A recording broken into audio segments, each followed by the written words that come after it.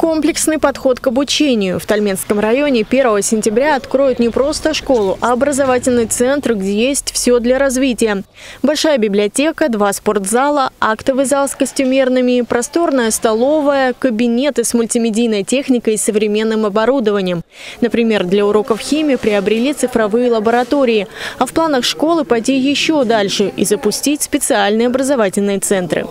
Мы с 1 сентября на базе кабинета химии, биологии, физики, информатики будем открывать точку роста да, естественно-научного и технологического, технологического направления. И мы хотим с первого класса уже начальную школу, там у нас тоже много оборудования вот э, такого для детей, с первого по четвертый класс тоже будет точка роста.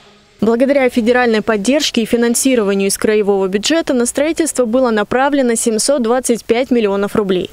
За пять лет в Алтайском крае отремонтировали 444 школы и ввели 10 новых. Кроме Тальменки, двери нового образовательного учреждения откроют в Барнауле, Власихе, Покровке Родинского района. Виктор Томенко был приятно удивлен уровнем, который создали для образования и всестороннего развития тальменских детей. И подчеркнул, алтайский сельский стандарт должен включать в себя развитие всей сельской инфраструктуры. Способствует этому и появление новых предприятий. Так, к концу 2024 года в районе должны запустить современный животноводческий комплекс на более чем 6 тысяч коров. Один из коровников уже построили. Эту зиму там провели 1200 голов молодняка. По замечанию владельцев комплекса, это самые высокопродуктивные коровы в мире. Всего коровников будет 6 и еще один родильный блок. Первые роды на предприятии примут уже в августе, что запустит процесс производства молока.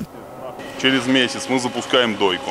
Привозим первые 300 голов – которые будут выполнять роль наставников. То есть угу. 300 коров. Да, Штефан рассказывал дойных, тогда, да, я Они помню. пойдут на, на карусели, будут молодежи показывать, как, как нужно себя вести. Да? Угу. Не, не надо переживать, стрессовать, угу. нужно просто спокойно. Знать, три, что делать. Три раза в день заходить на дойку.